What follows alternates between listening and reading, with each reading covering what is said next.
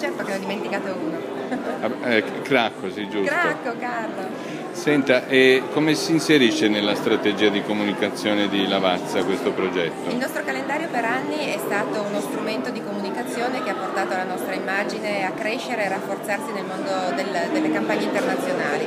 Ogni anno sceglievamo due soggetti e lo utilizzavamo proprio per veicolare i nostri valori nel, appunto, nel contesto internazionale. Quest'anno invece ha un livello diverso perché non lo utilizzeremo per la campagna stampa ma è un po' come la nostra flagship, quindi la nostra bandiera.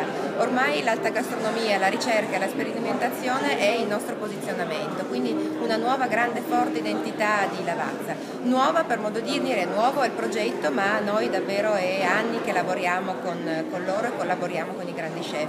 Per l'esattezza è 15 anni a partire dal 98 quando abbiamo incontrato appunto Ferran Adrià e da allora questo connubio di intenti, di ricerca e di passione condivisa per il caffè continua ad andare avanti. Come va la lavazza? Qualche dato sul vostro mercato? Allora, sicuramente l'Italia è un mercato difficile, è un mercato che è in, è in, calo perché logicamente i consumi sono in retrazione. In Europa invece nel mondo c'è una maggiore euforia, c'è un maggiore interesse e quindi questo bilancia, bilancia molto la nostra situazione. Ovviamente siamo radicati in Italia ma guardiamo con sempre più attenzione all'estero. La comunicazione pesa e conta sulle vostre strategie, sì. La comunicazione sicuramente non solo pesa ma è proprio un po' un faro, quello che dà la direzione e diciamo, le linee guida per spostare e posizionare i nostri prodotti. Quali sono il mix uh, di planning, di comunicazione?